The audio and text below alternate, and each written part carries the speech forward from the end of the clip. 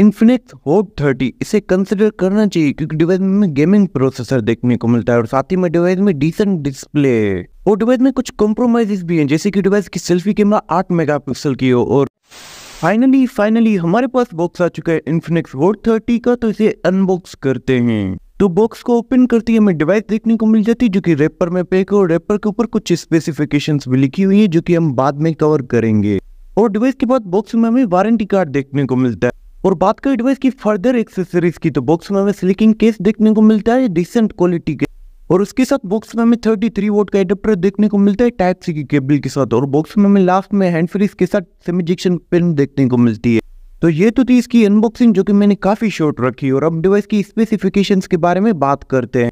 तो स्टार्ट ही करते हैं इसके प्रोसेसर के साथ, जो कि डिवाइस में हमें मीडियाटेक का जी ए प्रोसेसर देखने को मिल जाता है, जो कि काफ़ी पावरफुल प्रोसेसर और अगर आप डिवाइस को गेमिंग के लिए भी कंसिडर करना चाहते हो तो कंसिडर कर सकते हैं, क्योंकि बजट स्मार्टफ़ोन के हिसाब से डिवाइस बेस्ट ऑप्शन है। और डे टू डे यूज़ जो है मल्टीटास्किंग हो प्रोसेसर की परफॉर्मेंस आपको डिसअपॉइंट नहीं करने वाली। और अब चलती है डिवाइस की डिस्प्ले की तरफ़, जो कि डिवाइस में हमें आईपीएस डिस्प्ले देखने को मिलेगा फुल एच डी रेजोल्यूशन के साथ, जिसके कलर्स आपको ऑप्टिमाइज और बेहतरीन देखने को मिलेंगे। और डिस्प्ले में 90 हर्ट्ज रिफ्रेश रेट की सपोर्ट भी देखने को मिलेगी, जो कि डिस्प्ले स्मूथ भी फील होने वाला है। बाकी डिस्प्ले में आपको 500 सौ नर्ट्स की पीक ब्राइटनेस देखने को मिलेगी, जो कि इनफ तो नहीं आउटडोर यूजेज के हिसाब से पर डिसेंट है और डिस्प्ले के बेजल्स और चिन भी ऑप्टिमाइज देखने को मिलेगी। तो ओवरऑल डिवाइस का डिस्प्ले भी आपको डिसअपॉइंट नहीं करने वाला और अब बात करते हैं डिवाइस की डिज़ाइन और कैमरास की।